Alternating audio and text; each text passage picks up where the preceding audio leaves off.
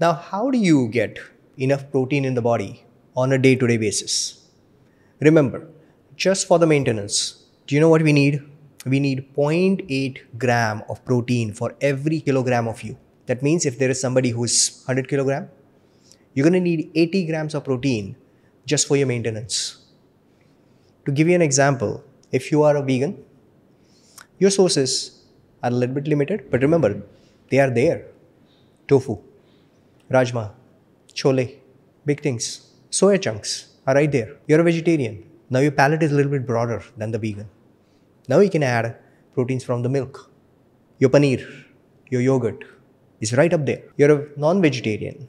So along with all the vegetarian sources here, you can add eggs, fish, and chicken. I'm staying away from the red meat. Your protein source has to be heart healthy. You cannot rely on a single source of protein every day.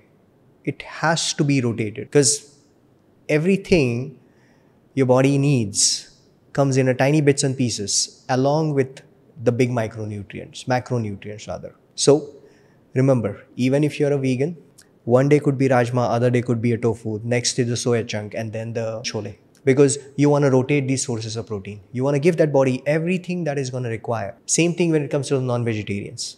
It cannot be a fried chicken, right? Because now you're going to add extra fat, especially the trans fat when you're going to fry that chicken, which is going to basically negate. It's basically going to get rid of all the benefits that your protein are going to get and you're going to get all the bad effects of that frying thing. So chicken curry is fantastic. If you can broil the chicken, that is okay as well, but just don't fry. Frying is what's going to get rid of those extra nutrients in there. So it's extremely difficult most of the time to incorporate that much of a protein in your diet to begin with, unless you're doing an extra effort. Now, there are sources which are beyond the food, right? We have all heard about protein powders. The sources would be whey, then there is a brown rice, then there is a pea. So if you're a vegetarian, you also have an option of green pea protein or the brown rice protein. Then whey protein. So whey protein is basically coming from the milk.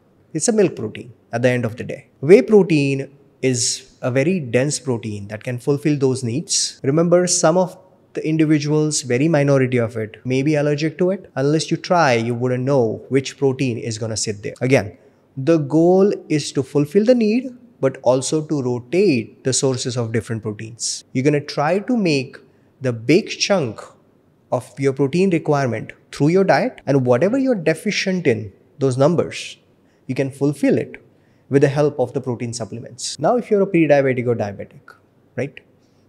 You said you know what? I have these powders.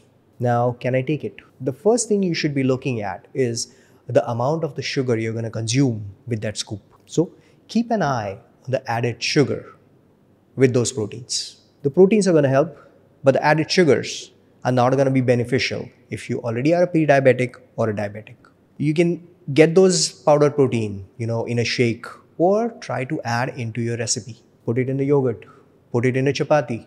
Whichever way you can incorporate those proteins in your diet, it's going to be so much effective for you.